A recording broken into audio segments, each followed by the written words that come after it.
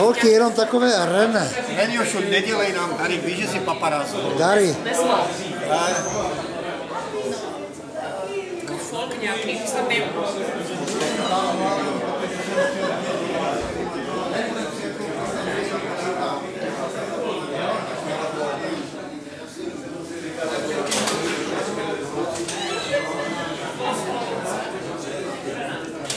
Ježku. Ježek.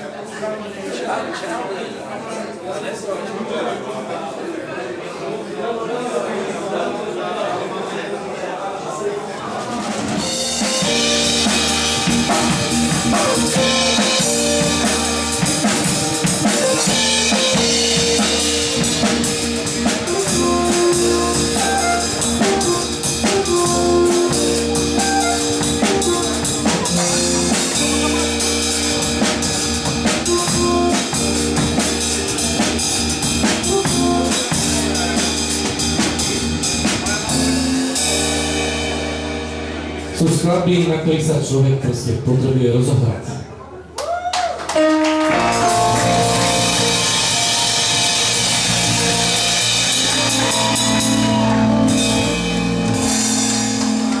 Díky moc! Ďalšia skladba bude pohodový deň. deň. Tak neviem, ma, mali ste pohodový deň dneska? Z Výčapu sa ozýva, že hokej, hokej sme prehrali, vyhrali. Havířov prohral, to vyhral.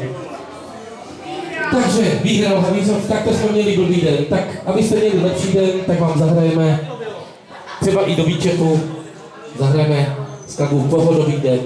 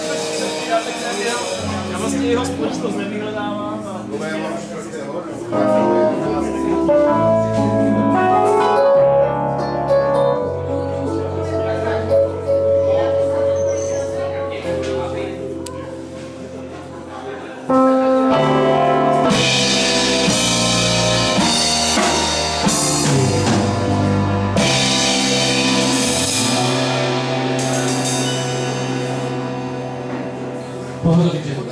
Ček. Chcel som povedať pohodlný jazz.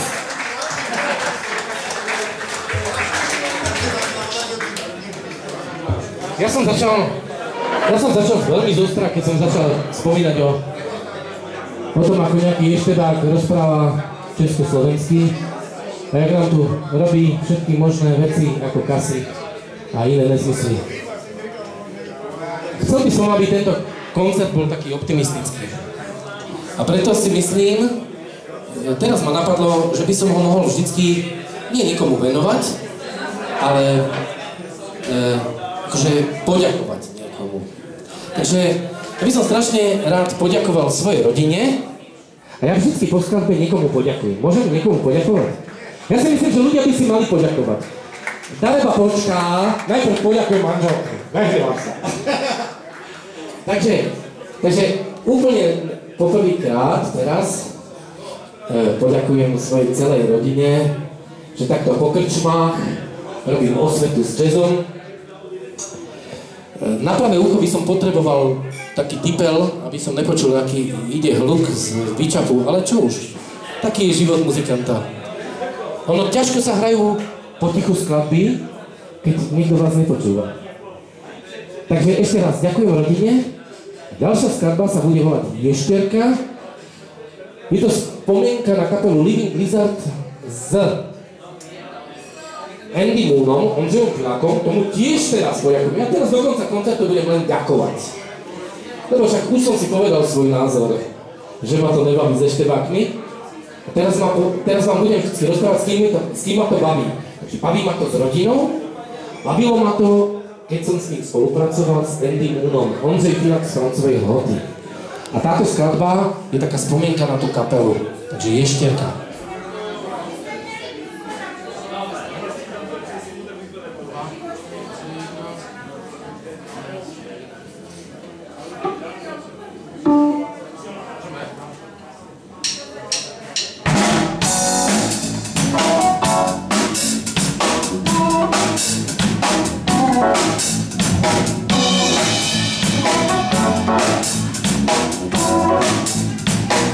Thank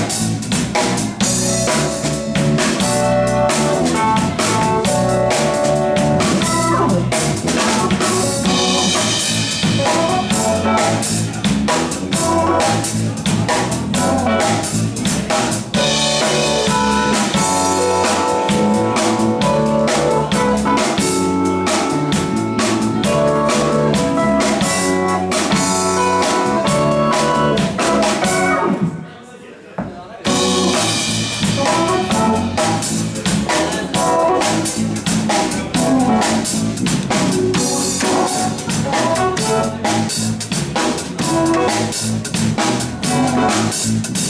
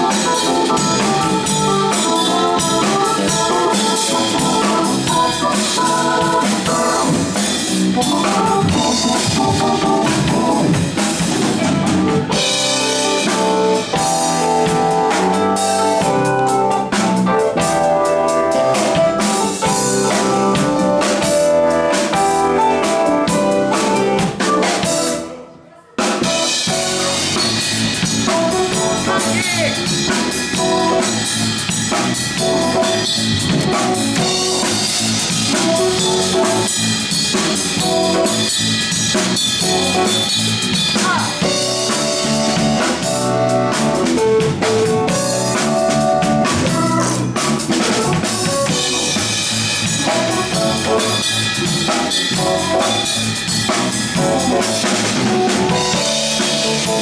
you.